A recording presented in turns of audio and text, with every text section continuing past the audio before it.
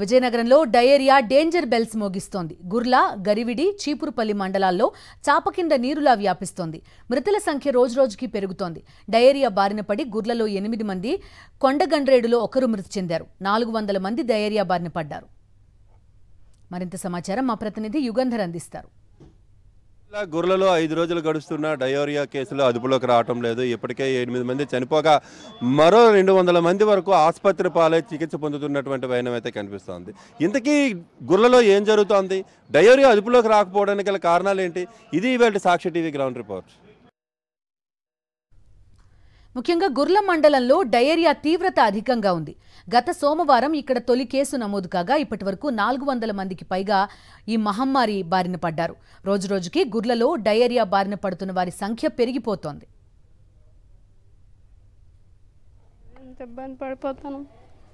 ఎందుకు ఎలాగ ఏంటి అర్థం డాక్టర్లో ఇన్ఫెక్షన్ వల్ల వాటర్ వల్ల ప్రాబ్లం అంటారు అదేదో వాళ్ళు రాలే చూడాలి మాకైతే ఏంటి తెలీదు. మరి ప్రస్తుతం ఊర్లో భయం ఎలాగుందండి? భయం ఎవరు బతుకుతారో ఎవరు చస్తారో తెలీదు. గుండెలు లేకపోతాని ఎవరు పేనాలు ఎలాగొంతో చెప్పుకోలేని పరిస్థితిలో ఉన్నాము ఎవరైనా పోయిన వచ్చి మీకు చెప్పడం గట్రా జరుగుతుందా? ధైర్యం చెప్పడం కానీ ఎవరు హాస్పిటల్లో ఉంటే మాకు ఎవరు వస్తారు బాబు. ఎవరో ఉన్నోళ్ళు ముసలోళ్ళు ముడగోళ్ళు వాళ్ళు చూసుకుంటానమ్మ ఇంటికాడ ఎలా ఎలాంటి జాగ్రత్తలు తీసుకుంటున్నారు మీకు మీరు ఇప్పుడు? మేము ఇప్పుడు వేడి వాటర్ మరబెట్టుకొని అందులో అన్నంలో మంచి నీళ్ళు వేసుకొని తాగుతున్నాం. కనీసం పెరుగు కూడా వాడట్లేదు. ఒకవేళ దానివల్ల మళ్ళీ మోషన్స్ గట్రా పట్టుకుంటే పసిపిల్లలతో చాలా ఇబ్బంది పాలు అవుతున్నాం. గుర్లలో రక్షిత నీటి పథకం ఓవర్ హెడ్ ట్యాంకర్ పక్కనే పెద్ద ఎత్తున చెత్త పడేస్తున్నారు. అలాగే వాటర్ ట్యాంక్ నుంచి ఇంటింటికి వేసిన పైప్ లైన్ని పూర్తిగా డ్రైనేజ్ కాలువల్లోనే వేశారు. దీనివల్ల మురుగునీరు పైప్ లైన్లలోకి వెళ్ళి తాగునీరు కలుషితమవుతోంది. ఆ నీరు తాగడం వల్ల జనం అనారోగ్యం బారిన పడుతున్నారు. నియంత్రణకు గొర్రెలలో ఎన్ని సహాయక చర్యలు చేసినా ఎన్ని నియంత్రణ చర్యలు చేపట్టినా ఐదు రోజులుగా డయోరియా అదుపులోకి రాలేదు అని అంటే దీనిపైన సాక్షి టీవీ బృందం విస్తృతమైనటువంటి పరిశోధన చేసింది. గ్రామం అంతా కూడా కలిగి తిరిగినట్టయితే మాకు అర్థమైంది ఏంటంటే ఇక్కడ ఆర్డబ్ల్యూఎస్ ఇంజనీరింగ్ అధికారులు చేసినటువంటి తప్పిదం ఏదైతే ఉందో అది గ్రామస్తులకు పెద్ద శాపంగా మారింది. ఇక్కడ డ్రైనేజీ కాలువలు ఉన్నాయి. డ్రైనేజీ కాలువల్లోనే డ్రింకింగ్ వాటర్ పైప్ లైన్స్ అనేటువంటివి వేశారు. ఇలా మేము చూసినటువంటి వీధులన్నీ కూడా దాదాపు నాలుగైదు వీధుల్లో ఇట్లాంటి దృశ్యాలే కనిపించినాయి. కొన్ని చోట్ల డ్రైనేజ్ కాలువలు ఉంటే కాలువలు వేశారు. కాలువ లేకపోతే డ్రైనేజ్ ఎక్కడైతే మురుగునీరు పారుతుందో ఆ ప్రాంతంలోనే వేసినటువంటి సందర్భం అయితే మేము చూసాం. ఈ డ్రైనేజీ పైపులు నుంచి నీరంతా కూడాను ఈ కాలువల నుంచి నీరంతా కూడాను డ్రింకింగ్ వాటర్ పైపుల్లోకి వెళ్ళిపోతుంది. ఇక్కడ కూడా చూడవచ్చు మనం ఈ విజువల్లోనే చూడవచ్చు. ఇక్కడ మొత్తం అటువైపు మన కెమెరా తిప్పుతారు. అక్కడ కూడాను మనకి ఇదే కనిపిస్తుంటుంది. మొత్తంగా డ్రైనేజ్ కాలువల్లోని డ్రింకింగ్ వాటర్ పైప్ లైన్స్ వేయటం వల్ల నీరు ఎప్పటికప్పుడు కలుషితమైపోతోంది. ఈ విషయాన్ని స్థానికులు ఇంజనీరింగ్ అధికారుల దృష్టికి తీసుకువెళ్ళినప్పటికీ కూడాను అప్పుడు ఉన్నటువంటి కాంట్రాక్టర్ చేసినటువంటి దాన్ని వీళ్ళు నియంత్రించలేకపోవటం కాంట్రాక్టర్ తప్పిదాన్ని వీళ్ళు సరిచేయలేకపోవటం వలన ఈ రోజున పెద్ద మూల్యం చెల్లించుకోవాల్సి వచ్చిందనే మనం చెప్పుకోవచ్చు. మొత్తంగా అయితే ఇక్కడ చేసినటువంటి ఆర్డబ్ల్యూఎస్ వర్క్స్లోని జలజీవన్ మిషన్ వర్క్స్ మొత్తం కూడాను నిబంధనలకు నియమాలకు విరుద్ధంగా ఉండడం వల్లనే ఈ రోజున గుర్లలోని ఇన్ని ప్రాణాలు కోల్పోవడం ఇన్ని వందల మంది అతిసార బారిన పడడం జరిగిందని చెప్పుకోవచ్చు. ఊర్లలో పారిశుద్ధ్యం పడకేసిందని గ్రామస్తులు చెప్తున్నారు. కొన్నేళ్ళుగా తాగునీటి వాటర్ ట్యాంక్ని శుభ్రం చేయడం లేదని నెలకోసారి చెత్త తీసుకెళ్తున్నారని మండిపడుతున్నారు. ముఖ్యంగా డ్రైనేజ్ వ్యవస్థ అధ్వాన్నంగా మారడం వల్ల గ్రామంలో డయేరియా విజృంభిస్తోందంటున్నారు. వాటర్ ప్రాబ్లం అనేటప్పుడు ఆ వాటర్ ఊర్లో వాటర్ అంతా మొత్తం యంగనే కాదు ముసలినే కాదు అందరూ తీసుకుంటారు కదన్న. దానివల్ల ఎఫెక్ట్ అయిందని చెప్పి నేను అనుకుంటున్నాను వాటర్ కలుషితం అవడం వల్ల వాటర్ ఇప్పటికప్పుడు ఒకప్పుడు క్లీన్ చేస్తూ ఉండేవారు. ట్యాంకుల గడ్డ క్లీన్ చేసి వాటర్ గట్ట ఇస్తుండేవారు. ఇప్పుడు కొన్ని ఓ టూ ఇయర్స్ త్రీ ఇయర్స్ నుంచి వాటర్ గట్ట క్లీన్ చేయబడి ట్యాంకుల గట్ట దానివల్ల ఇన్ఫెక్ ఇన్ఫెక్షన్ వచ్చిందని చెప్పని స్టార్టింగ్లో అన్నారనమాట అది కూడా కొద్ది వరకు నిజమే. ఎందుకంటే ఇప్పుడు మొన్నటి వరకు వాటర్ వచ్చేది ఎలా వచ్చిందంటే ఎర్రగా రావడం చిన్న చిన్న పురుగులు రావడం కొలే వాటర్ అంట మంచినీళ్ళు వాటర్లు అంట. రావడం వల్ల మరి గ్రామంలో ఉండేటప్పుడు అందరూ కూడా తన్నే దన్నే కదా తాగుతారు. తాగడం వల్ల ఇన్ఫెక్షన్ అనేది మొత్తం అందరికీ ఇప్పటి వరకు డయేరియాతో కలిసెట్టి సీతమ్మ తొండ్రంగి రాము రాములమ్మ పెంటయ్య సూరమ్మ సహా మొత్తం ఎనిమిది మంది చనిపోయారని గ్రామస్తులు చెప్తున్నారు. అలానే నాలుగు వందల మందికి పైగా ఈ మహమ్మారి బారిన పడ్డారంటున్నారు. అయితే వైద్యాధికారులు మాత్రం కేవలం నూట అరవై ఏడు మంది మాత్రమే డయేరియా బారిన పడ్డారని ఒక్కరు మాత్రమే డయేరియాతో చనిపోయారని చెప్తున్నారు.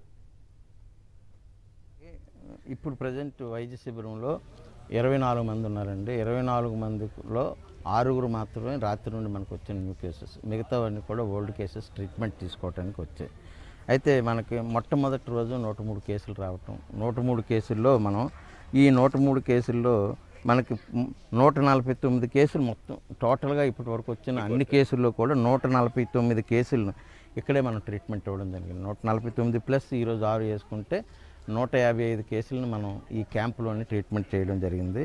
అలాగే ముప్పై ఏడు కేసులను మనం అదర్ పిహెచ్ పబ్లిక్ యూట్లకి రిఫర్ చేయడం జరిగింది. అందులో జీజీహెచ్ విజయనగరం పద్నాలుగు ఎంసీహెచ్ గోషాకి పదమూడు అలాగే సిహెచ్ సీపురిపల్లికి ఏడు కేజీహెచ్ విశాఖపట్నం ఒకటి ప్రైవేట్ హాస్పిటల్లో మనకి ఎనిమిది కేసులు ఉన్నట్టు తెలుస్తుంది. మొన్నటి వరకు చంపావతి నీరు కలుషితం కాలేదని విజయనగరం జిల్లా కలెక్టర్ చెప్పారు. కానీ ఇప్పుడు చంపావతి నీరు కలుషితమైందని ఆ నీటిని తాగొద్దని జనానికి సూచిస్తున్నారు. నాగావళి నీరు జనాలకు సరఫరా చేస్తామని చెప్తున్నారు. అధికారులు రోజుకో మాట చెప్తుండడంతో జనం గందరగోళంలో పడ్డారు. గుర్లం మండలంలో గత నాలుగు ఐదు రోజులుగా ఈ డైరియా కేసెస్ అనేవి కనబడుతున్నవి. దీనికి సంబంధించి ఆల్రెడీ గత వారం రోజులుగా గ్రామంలో మెడికల్ క్యాంపులు కండక్ట్ చేయడం జరిగింది. ఇప్పుడు మూడు డిపార్ట్మెంట్లు ఆర్డబ్ల్యూఎస్ డిపార్ట్మెంట్ కానీ పంచాయతీరాజ్ డిపార్ట్మెంట్ మెడికల్ డిపార్ట్మెంట్. ముగ్గురు కలిసి కోఆర్డినేషన్స్తో అసలు విషయం ఏంటనేది దాని మీద ఐడెంటిఫై చేస్తే గ్రౌండ్ వాటర్ కండెమ్నెడ్ అయింది అనేది ఐడెంటిఫై చేయడం జరిగింది. ఇమ్మీడియట్గా నిన్న మొన్న ఆ విషయం తెలియగానే నిన్నే మేము ఏం చేసామంటే మొత్తం ఎంటైర్ ఈ విలేజ్ సంబంధించి గ్రౌండ్ వాటర్ ఇక్కడ water levels only ten to fifteen ఫీట్లోనే మీకు వాటర్ డ్రింకింగ్ వాటర్ లెవెల్స్ ఉన్నాయి. దాదాపు గ్రామంలో రెండు వందల డెబ్బై ఏడు ప్రైవేటు బోర్లు ఉన్నాయి. ఈ ఈ ఈ వాటర్ కండెమ్నడం వల్ల ఈ బోర్లో వాటర్ తాగడం వల్ల ఈ డైరియా వచ్చిందని చెప్పని డాక్టర్స్ వీళ్ళంతా దాన్ని ఐడెంటిఫై చేయడం జరిగింది. దాన్ని ఇమ్మీడియట్గా అరెస్ట్ చేయడం కోసం నిన్న సూపర్ క్లోనేషన్ కూడా అన్ని బోర్ల్లోనూ అన్ని ఈ పైప్ లైన్స్లో కూడా చేయడం జరిగింది. రెండు రోజుల తర్వాత మళ్ళీ ఒకసారి మేము టెస్ట్ చేస్తాము. టెస్ట్ చేసి నెగిటివ్ వస్తేనే ఈ వాటర్ వాడడానికి పర్మిషన్ ఇస్తాము. లేదంటే మళ్ళీ క్లోరినేషన్ చేస్తాము. అటు డయేరియా విజృంభిస్తుండటంతో జనం ఇళ్ళ నుంచి బయటకు రావద్దని అధికారులు హెచ్చరికలు జారీ చేశారు. షాపులు మూసేశారు. గుర్లలోని జిల్లా పరిషత్ హైస్కూల్ వద్ద వైద్య శిబిరం ఏర్పాటు చేసి రోగులకు చికిత్స అందిస్తున్నారు. పరిస్థితి విషమంగా ఉన్న వారిని విజయనగరం చీపురుపల్లి ప్రభుత్వాసుపత్రులకు తరలిస్తున్నారు. మొట్టమొదటి కారణం అయితే ప్రభుత్వం మొట్టమొదట విఫలమైపోయింది. తద్వారా వైద్య అధికారులు కూడా విఫలమైపోయారు. ఎటువంటి రికవరీ కూడా జరగట్లేదు. ప్రజెంట్ అయితే ప్రతి ప్రైవేట్ హాస్పిటల్లో వెళ్ళ వెళ్ళిపోవడం జరుగుతుంది. దానికి ఉదాహరణ మన సిట్టి రంగరాజ హాస్పిటల్లోనూ సుమారు ఒక మా వాళ్ళే ఒక ఇద్దరు ముగ్గురు ఉన్నారు. దానికి కారణం కేవలం వైద్యం అందకనే. అసలు ఏమనిపిస్తుందండి? ఊర్లో ఎట్లాంటి అసలు కారణం ఏమనిపిస్తోంది? దేని వైఫల్యం వలన ఇలా కేసులు పెరిగిపోతున్నాయి అనిపిస్తుంది? దీని ఎలా జరుగుతుందంటే ఎవరైనా స్పష్టమైన బోగట్ట ఇవ్వట్లేదండి ఒకరు వాటర్ ప్రాబ్లం అంటున్నారు ఇంకొకరు డ్రైనేజ్ ప్రాబ్లం అంటున్నారు రకరకాల ఒక్కొక్క అధికారి ఒక్కొక్కరు చెప్తున్నారు తప్పించి ఎవరు స్పష్టమైన దీనివల్ల వచ్చిందని ఎవరు కూడా నిర్ధారణ చేయలేకపోతున్నారు. ఈ కారణం చేత జనాలు కూడా ఇసిరిపోయి ఇంకా గవర్నమెంట్ అయితే విఫలమైపోయింది కాబట్టి మేము ప్రైవేట్ హాస్పిటల్కి వెళ్ళిపోతున్నాం అనేసి ఆల్రెడీ ప్రైవేట్ హాస్పిటల్కి వెళ్ళడం జరుగుతుంది. మరోవైపు డయేరియా విజృంభిస్తుండటంతో జనం భయాందోళనకు గురవుతున్నారు. మహమ్మారి కట్టడికి ప్రభుత్వం కఠిన చర్యలు తీసుకోవాలని కోరుతున్నారు. అధికారులు స్పందించి హెల్త్ ఎమర్జెన్సీ ప్రకటిస్తేనే డయేరియా అదుపులోకి వస్తుందంటున్నారు. వైద్య సిబ్బంది చేస్తున్నటువంటి సేవలతో కొంత కంట్రోల్లోకి వచ్చినప్పటికీ కూడా గ్రామంలోని పారిశుధ్యం కంట్రోల్లో లేకపోవడం వలన ఇప్పటికీ కేసులు నమోదవుతూనే ఉన్నాయి. ఈరోజు ఉదయం కూడా ఇద్దరు చనిపోగా మరో పదిహేడు మంది కొత్త కేసులు నమోదు అవడం చూస్తున్నట్టయితే పూర్తిగా పారిశుధ్యం పైన దృష్టి పెడితే తప్ప గొర్రెలోని ఇటువంటి డిసీజ్ అనేటువంటిది కంట్రోల్లోకి వస్తుంది అనేటువంటి నమ్మకం లేదు. పూర్తిగా మేము గొర్రెల గ్రామం అంతా కూడా పరిశీలించిన తర్వాత డ్రింకింగ్ వాటర్ పూర్తిగాను ప్రాజెక్ట్ మొత్తం కూడా నిలిపేయాల్సినటువంటి అవసరం అయితే ఉందని మాకు అర్థమవుతోంది.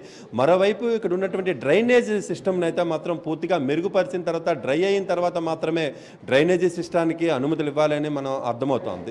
శానిటేషన్ చేసినంత మాత్రాన బ్లీచింగ్ బ్లీచింగ్ పౌడర్ చల్లినంత మాత్రాన ఈ రోజున డయోరియా అయితే పూర్తిగా అదుపులోకి రాదు. పూర్తిగా ఇక్కడ ఉన్నటువంటి డ్రింకింగ్ వాటర్ సిస్టాన్ని కొన్ని నెలల పాటు పూర్తిగా నిర్వీర్యం చేసి కొత్త పైప్ లైనింగ్ చేస్తే మాత్రమే ఇక్కడ అదుపులోకి వస్తుంది అనిపిస్తోంది వీడియో దృష్టి ఈశ్వత యుగంధ సాక్షి టీవీ విజయనగరం నుండి.